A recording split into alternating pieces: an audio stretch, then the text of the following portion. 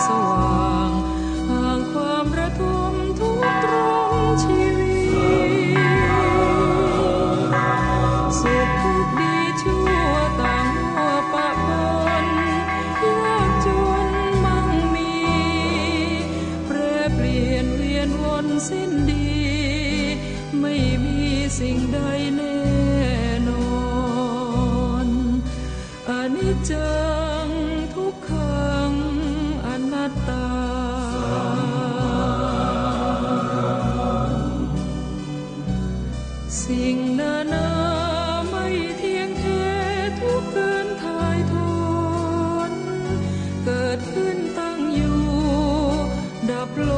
จงพึงสังวร มัวแบก มัวหาม มัวคอนต้อนไฟร้อนคือโลกโกรธลอ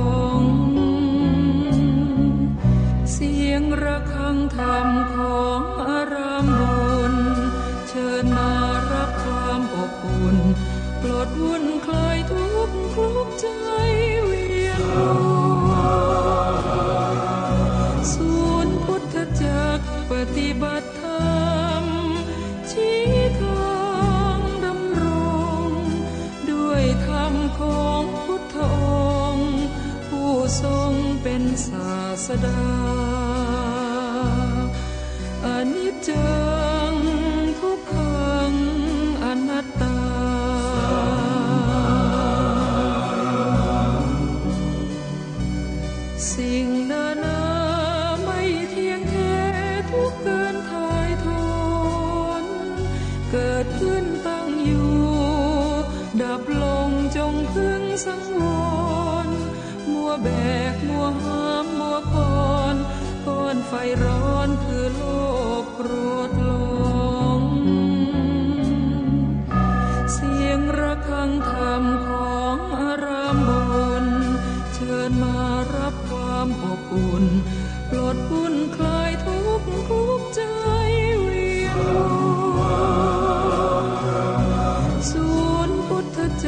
ปฏิบัติธรรมชี้ทางดำรง ด้วยธรรมของพุทธองค์ ผู้ทรงเป็นศาสดา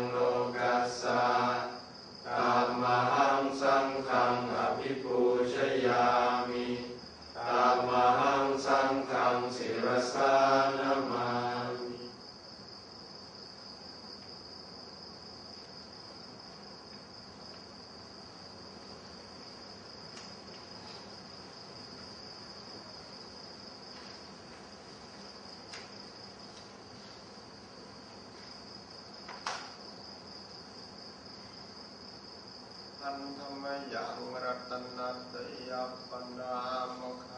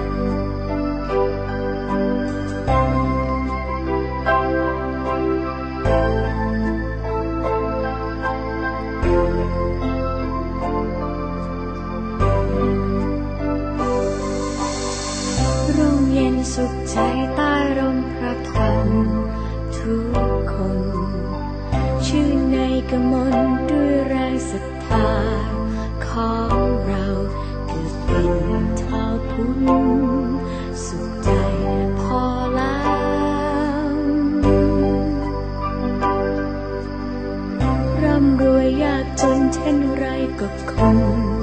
เหมือนกัน ถ้อจะตาย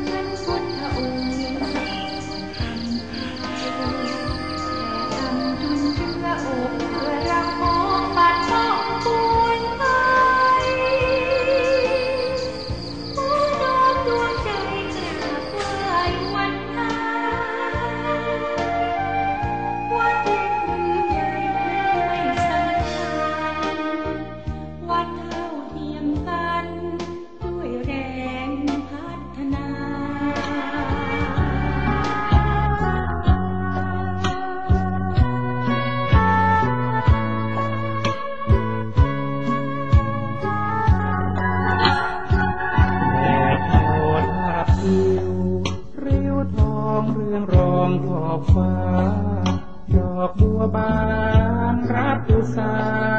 แก้มตาฟ้ารุ่งงามไพ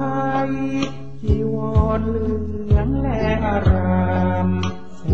งงามปิติตื่นใจ หมู่สงสงศีลสดใส จาริกไปโปรดสัตยามนี้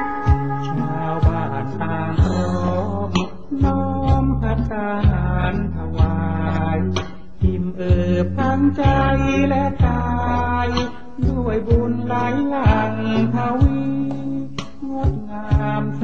งทองอาราม แสงธรรมสองดวงคือดี สายผ่านสัทธาทุกที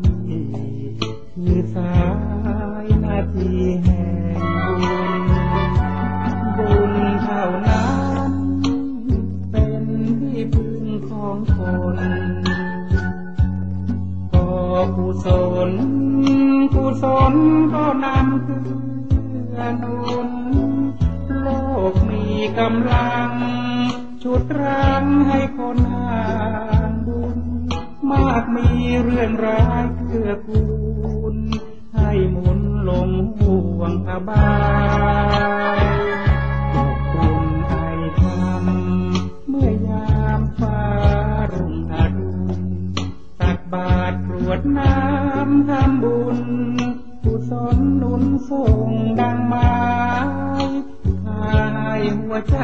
สว่าง คนไกลจากทางชั่วร้าย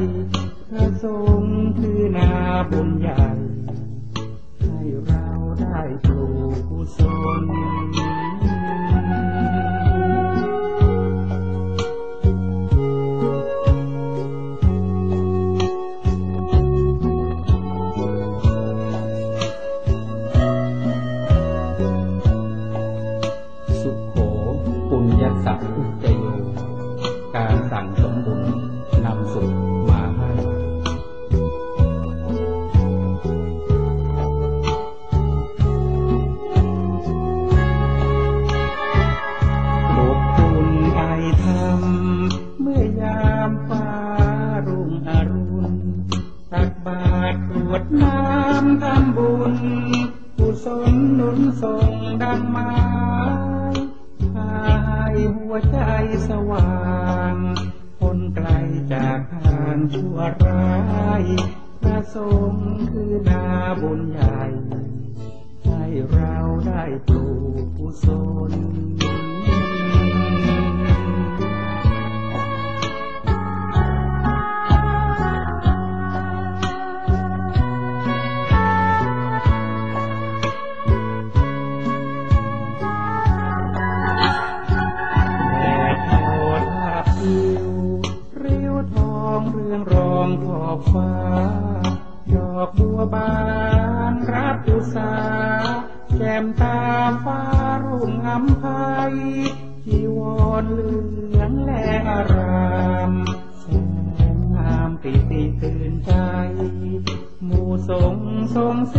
สดใส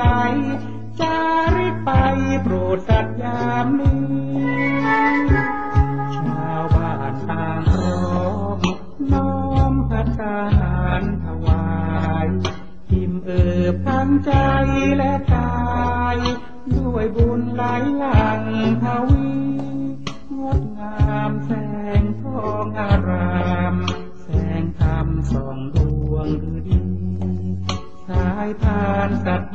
problem.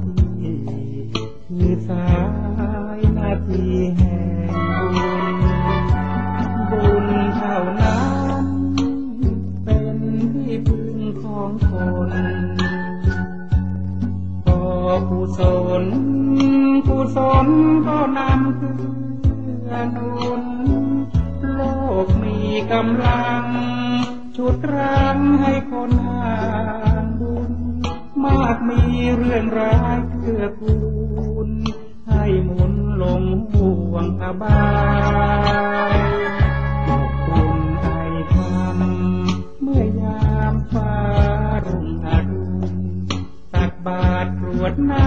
ำทำบุญกุศลนุนส่งดังไม้หายหัวใจสว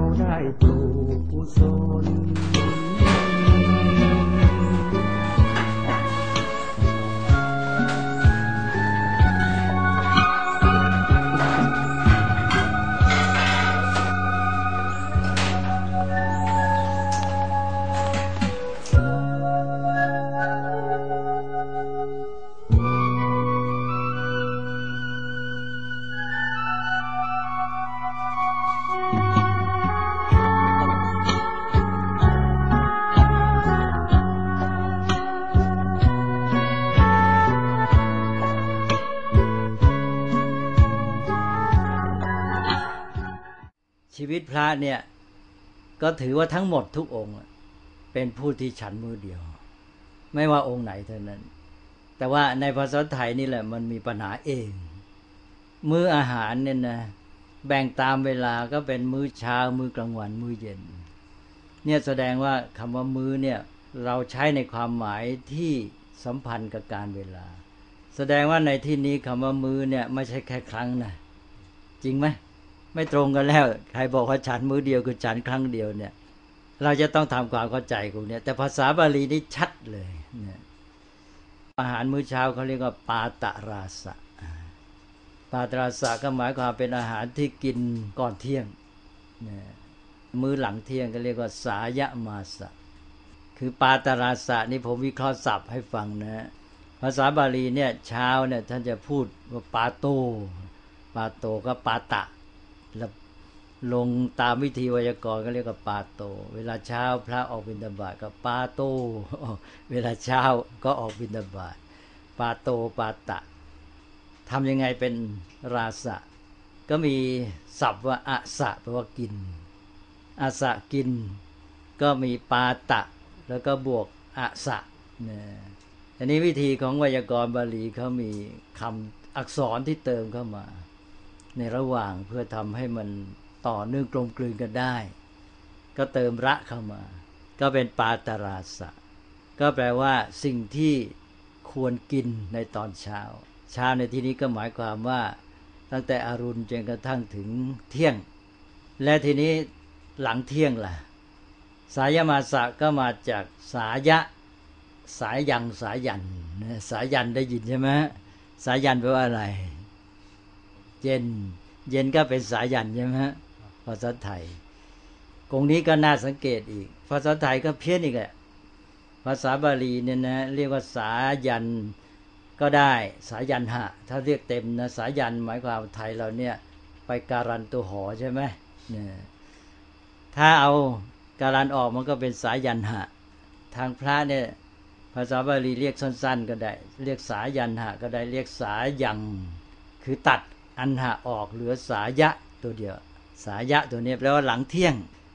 ทีนี้ไอ้ตัวสายะตัวเนี้ยน่าจะเป็นที่มาของคำว่าสายในภาษาไทยเนี่ยสายะสายัง แล้วก็สายันเอาถ้าอย่างนั้นขอแทรกนิดเลยก็ถ้าหากว่าไอ้ตัวสายะตัวเนี้ยที่แปลว่าหลังเที่ยงเนี่ยมันมาเป็นสายในภาษาไทย แล้วภาษาไทยสายเนี่ยมันไม่ใช่หลังเที่ยงแหละใช่ไหมเขาเปลี่ยนไปแล้ว สายในภาษาไทยแปลว่าอะไร หลังเช้าก่อนเที่ยง เออ กลายเป็นอย่างนั้นไป ยุ่งหมดแล้วนะพจนานุกรมไทยก็ให้ความหมายสาย แปลว่า เวลาระหว่างเช้ากับเที่ยงยะ